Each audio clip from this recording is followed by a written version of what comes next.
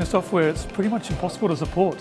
I mean, BizTalk itself is very difficult but when there's an error, it doesn't give you any information, whereas 360 provides all the information you need as soon as something happens. It will alert you, tell you. Um, it's just impossible to support it without 360.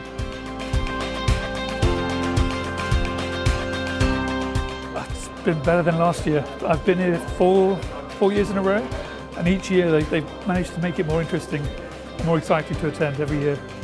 Um, the roadmap as well, they're showing us the way forwards it's just so much information to take in.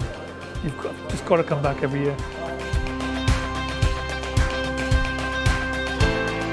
If you're a developer or a support engineer, I mean, you're not going to know any of the new technologies that are coming out.